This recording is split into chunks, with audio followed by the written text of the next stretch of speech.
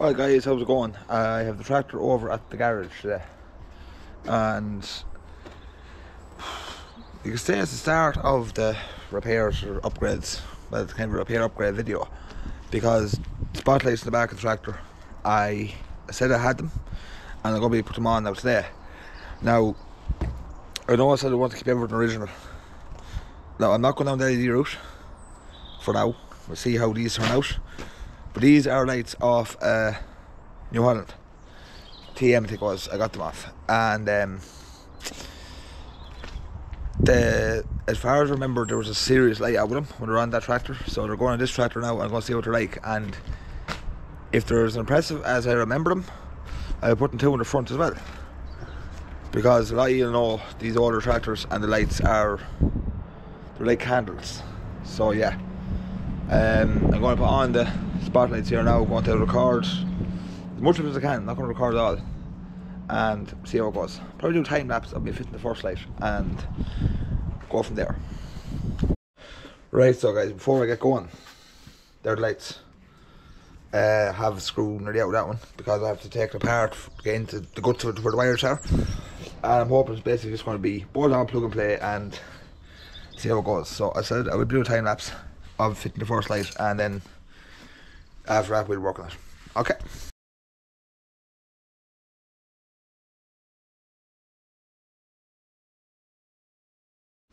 Right, so with the old light off, that's what's left of it. Um, I had to cut the spare connections on it to get out through the hole in the back of that. But that's no good now, so get this one open so we can get into the back this one see exactly which connections are the right ones I need. I have any amount in there so should be okay. That's better.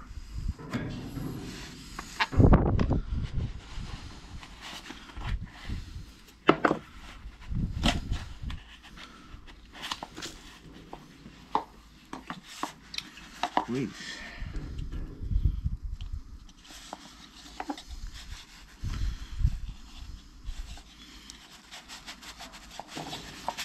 just even that through there and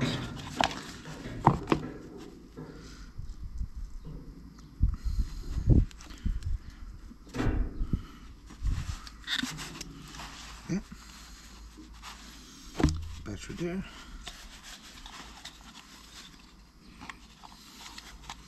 Put the wire through and connect that inside. So yeah back in a few minutes. I have this fit and tractor so guys, I have the first light on and I'll tell you one thing, it looks better than I thought it was going to look because the old square shaped light I took off, as you see there, is the one on this side. And that one that side is the one off the new one. And a few little modifications, but nothing major. Just put different connections on the wires at the back and it worked. So I am going to fit the second light now.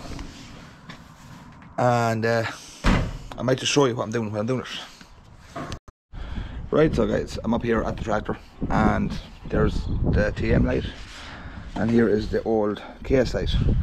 As you can see on this bracket there is clip here for a handle here. Change that handle around and it moves light. But don't really use it so I might just eliminate that. But first of all we'll try to remove this clip. Just like that that's gone. Remove that fold that down. And go up the golf front of the light to get into the wires. So bear with me. So guys as you can see this light was in very rough shape. So I will be replacing that and replacing the surrounding with and all that. So yeah.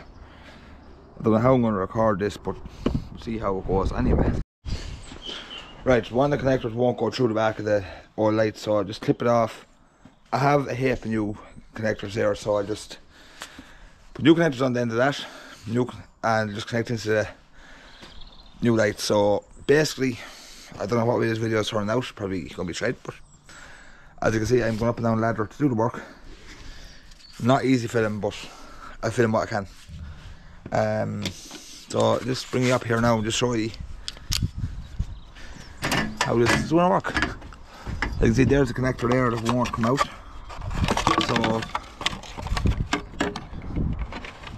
Yeah. Here. Give this clip, break it off, and there we are. Now I put, see I have plenty of wire there, so I put two new connectors on that, and might even leave that one if it'll work for me. But yeah, go from that to there. Right, so as you guys can see, the wire's coming out. You see the that one there came through the back of the light, no problem, and I had to cut the plastic piece off that one. But I have spare connector here that will fit onto the wire of the bulb that will be up onto that, and that should work perfect. When I have all this together, I will show you again.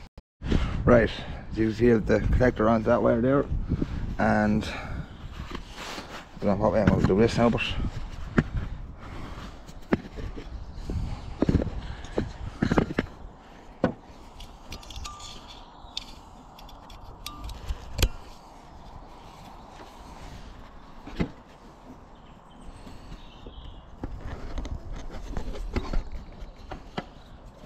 Alright, then two wires connected.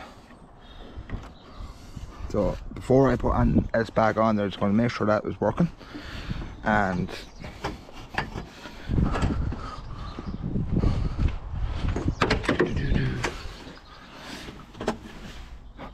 as you can see, it is working. So put everything back together there now and I'll show you the final result. Two lights on, two lights working. Right so guys, I have two lights on. Going to try them here now, make sure two of them are still working after fitting them. As a lot you know, things don't go to plan, but I'm hoping everything goes to plan here. So yeah. Do, do, do. We have an issue. So I may have a look at this. Right guys, there was a little bit of a problem with the wire that was in the wrong, well not in the wrong spot, I had it in behind the light, one wire touched off another, so I had one dull light and no light there, but if you look there, light there, and light there. So, a successful job, I will say. Um, now if them lights done, I'm happy with them, so I'm more than likely going to do the two front lights. Now that's all I'm going to do with the tractor for today because a few other things going on. That's why it's taking technically all day to do that job. Started earlier on and we had to go do something else, then go back, I had to go do something else. But I don't know what way this video is going to turn out, but sure. Guys, I am on the last 10, I'm in the last 10 subscribers to get to 1k. Uh, I'm at 993 I think when I'm recording this. Come on guys, to get this video to get me to 1k, I'd really, really appreciate it. Thanks guys.